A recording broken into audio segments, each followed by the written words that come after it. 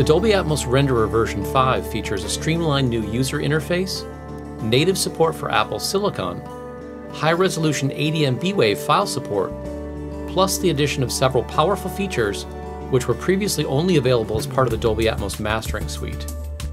Now a universal application, the Dolby Atmos renderer has been optimized to take advantage of the latest M1 and M2 based Apple computers with improved CPU efficiency and more responsive graphics. The V5 installer also includes updated AAX Silicon versions of the essential plugins for Atmos, including the Dolby Atmos binaural settings plugin and the Dolby Atmos Music Panner, all fully compatible with Pro Tools 2023.3 or later. From the setup menu, powerful speaker calibration tools are now included as standard within the Dolby Atmos renderer.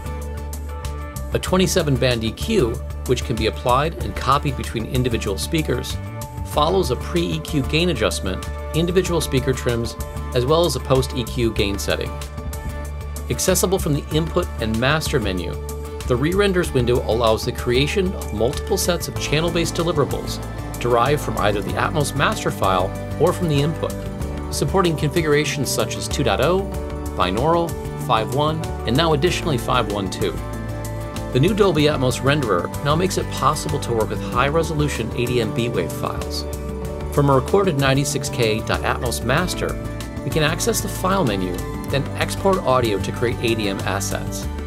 It is also possible to simply open and monitor 96K ADM files within the renderer, which serves as a master archival format and a source for deriving future deliverables.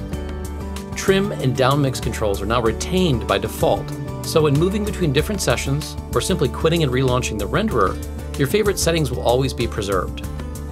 For larger mix rooms creating home theater content, it's possible to leverage array mode, which is now included with the new renderer. Array mode can help scale the optimal listening zone around the mixer. For example, when multiple producers need to be part of a mix review. When enabled, the room setup can engage up to 22 speakers composed of four different arrays. The Dolby Atmos renderer is available for qualified Mac and PC workstations. For Mac OS systems, the renderer can either be run via Core Audio on the same workstation as the DAW, or as a dedicated system networked to the primary via the Remote Renderer application. For Windows systems, the Dolby Atmos renderer must be run on a separate computer and then patched via hardware I.O. connections.